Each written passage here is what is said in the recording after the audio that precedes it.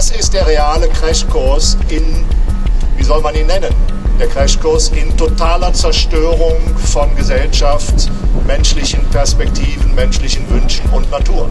Der neoliberale Kapitalismus ist enthemmt im brutalsten Sinn des Wortes. Eine Gruppe von zahlenmäßig einigen wenigen 100, 200 bis 300 sagen die Top-Leuten, die die Welt beherrschen. Ein genetischer String in der kleinsten Pflanze im tropischen Regenwald, die sie ausrauben, die sie den Leuten, den Menschen klauen und die sie privatisieren und zu Hause patentieren lassen.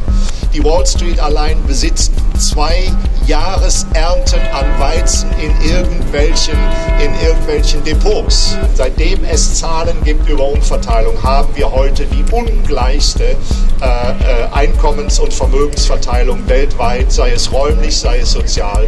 Global besteht, bestehen wir 99 Prozent aus Schuldnern und die 1 Prozent sind die Gläubiger. Und wir sind in Geiselhaft der 1 Prozent äh, Frau Merkel die 1,4 Billionen mit vollen Händen sozusagen in die Bankbilanzen geschleust hat, äh, dreht sie sich um und nimmt den Hut auf der schwäbischen Hausfrau und sagt, liebe Leute, wir haben alle über unsere Verhältnisse gelebt, wir müssen sparen. Ja, jetzt müssen wir sparen. Vorher, als die Bankbilanzen mit Steuerzahlergeld der nächsten zwei Generationen geflutet wurden, mussten wir nicht sparen.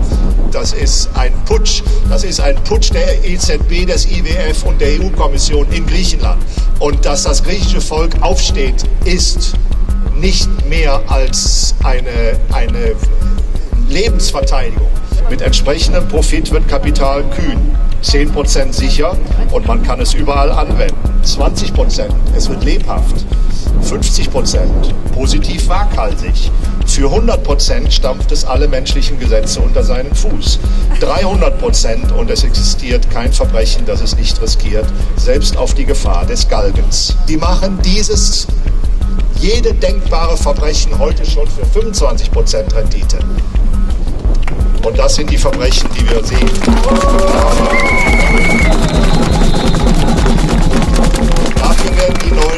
Brutalstmöglichen Kriege geführt für Öl im Irak. Sie lassen sich das nicht gefallen, was wir hier machen.